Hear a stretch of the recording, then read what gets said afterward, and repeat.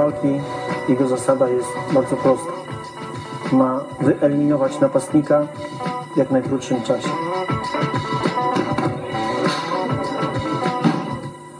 Raz, zbijam. Jeszcze raz.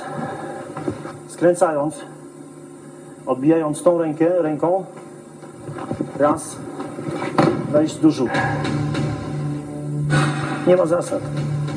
Nie ma zasad. Nie ma powiedziane, że nie można uderzać w oczy czy jeszcze gdzieś. Tu mamy po prostu dozwolone wszystko. Możemy gryźć, drapać, uciskać punkty witalne, podcinać, kopać po kostkach, po kolanach. Po prostu mamy się bronić skutecznie.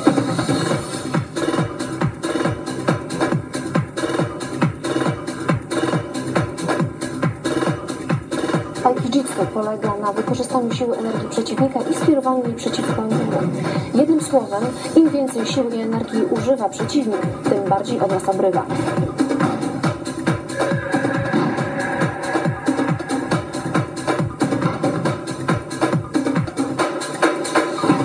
Siła i postura zawodnika wcale nie przeważa o zwycięstwie.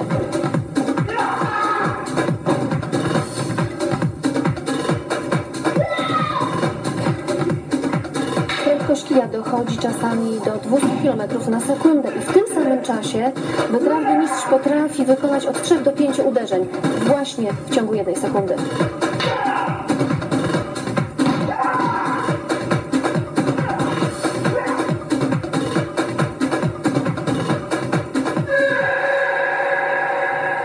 Przeszło trzyletniej działalności. System walki, jego zasada jest bardzo prosta. Ma wyeliminować napastnika w jak najkrótszym czasie.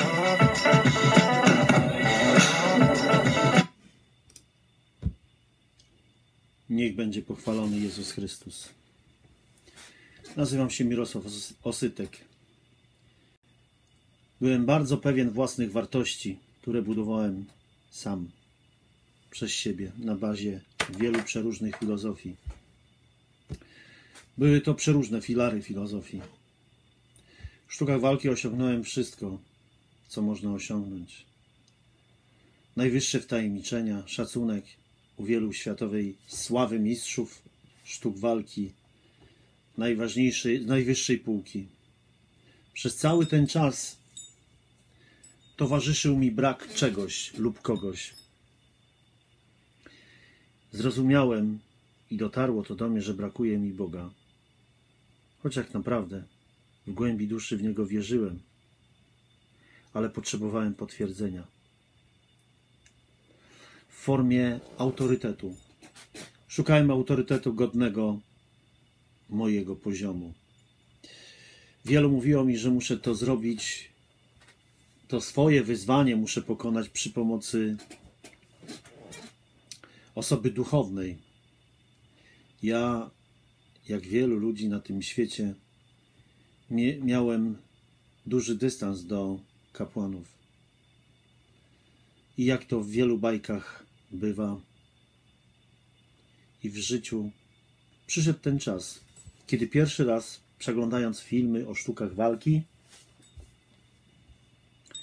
w pewnym momencie otworzyłem film o pewnym kapłanie, o mistrzu sztuk walki, który wiele osiągnął w sztukach walki, ale w pewnym momencie swego życia nie tylko odnalazł drogę do Boga, ale i odnalazł kobietę. Kobieta, która była i jest najważniejszą kobietą, nie tylko dla niego, ale dla wielu milionów ludzi na tym świecie. W momencie, kiedy skończyłem oglądać filmy, głos głęboko w moim sercu powiedział mi: Tak, to jest Twój autorytet wiary, to jest Twoje potwierdzenie. I wtedy zacząłem oglądać wszystkie jego filmy.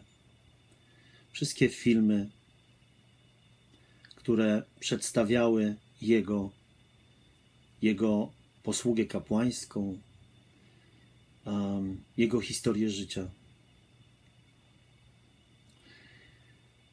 Tak naprawdę to był mój chyba jedyny kapłan, do którego zacząłem już przy oglądaniu filmów nabierać